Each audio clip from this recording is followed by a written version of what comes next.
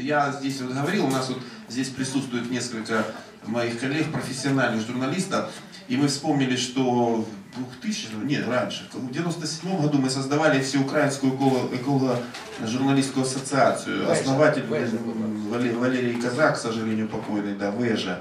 Вот. И э, э, э, мне кажется, что очень важно э, э, сейчас этот компонент учитывать, потому что э, вот я как был кандидатом сейчас на выборах, э, это кошмар. Э, С народом никто не работает, народу никто ничего не разъясняет, понимаете? Люди вообще ничего абсолютно... а, И, видно, что они, не э, в принципе, люди восприимчивы. Им надо рассказывать, объяснять постоянно. И нужно уметь это делать. И поэтому очень важно вот это вот компонент экологической журналистика. Мне кажется, что было бы, я не знаю, как здесь это, но это тоже политика экологическая, именно а, объединить э, э, журналистов и профессиональных, и непрофессиональных, и какая-то должна быть э, обмен опытом, там, э, какая-то система, которая была, вот когда мы закладывали все, Всеукраинскую личную журналистскую ассоциацию. Ну да, возможно бы эту ассоциацию и, и инициировать опять общественности и как-то возродить ее деятельность. Я добавить тоже к тому, что сказал Володя, э, мы часто сталкиваясь, встречаясь с журналистами, когда идет там работа со СМИ, как работать со СМИ, семинары, там круглые столы и так далее. Но при этом именно э, активисты экологического движения часто сталкиваются с тем, что сами журналисты э, с точки зрения экологической компетентности довольно и информированности довольно на низком уровне находятся. И это проблема. Опять, э, то есть нет профессиональных журналистов, которые бы работали именно в этой области, профессионально работали, были компетентны. И э, к экологическому образованию та же проблема. Вот на мой взгляд, да, действительно, вот внешкольное об- образование и воспитание, которое внешкольные учреждения проводят, державной э, системы образования, они как-то, э, на мой взгляд, больше вклад вносят, чем сама школа. Но при этом, если посмотреть, что делают общественные организации, работая с детьми и в области воспитания, экообразования, то их эффективность и результативность оказывается э, значительно выше.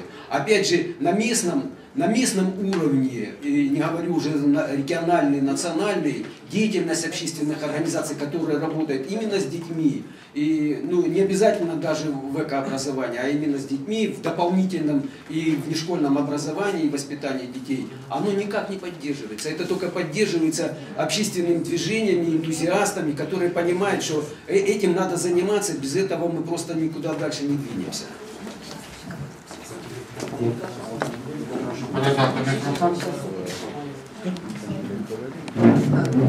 Я хочу сейчас э, обратить э, внимание всех на выступление, которое было Антонины Галкиной. Антонина Галкина.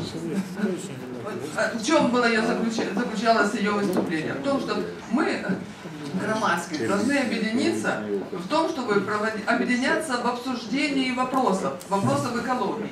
И это объединение, в смысле методология этого дела, заключается в том, что это, для этого не нужно средств больших. Для этого мы должны работать в интернет-режиме, в электронном режиме. У меня была такая идея фикс всю, все последние вот э, пять лет или 10 э, по поводу создания электронного парламента в Украине. Тобто, зачем нам столько денег тратить на тех, которые будут сидеть сейчас и требуют си- сидения, э, которое нам практически не нужно, мы будем деньги платить за это, да? Вместо того, чтобы вырабатывать нужные нам решения, положения, тем более, что мы должны это вырабатывать. И мы можем это вырабатывать. Вот, давно уже. И кр- кроме того, по экологическому образованию, я хочу сказать, что нам надо проводить экологическое образование не детей, а управленческой структуры. Вот о чем говорила Наташа, да, Вазова, вот что цивилизация разума или эволюция разума. Вот то, к чему идет наш разум, куда он ведет, да, мы должны это дело э, понять самим, да, куда мы идем и направить свое движение, свое понимание и на э, управля- управленчес- управленческие наши структуры. То есть поработать самим собой и еще и потребовать что-то от наших вот этих вот управляющих систем. Но мы должны объединиться э, в своем мышлении, да, И, мы ж- и это объединение возможно в электронном режиме. И, и для этого нет необходимости вот делать выездные заседания, как говорила Лариса, по-моему, да, с Одессы. Я перепрошую, Для чи детских. потрібно То цю, есть, цю пропозицію вносити ось е, в сюди? принципе, да, Что что там- необходимо разрабатывать электронный вид с- спілкування. Обязательно. Будь ласка.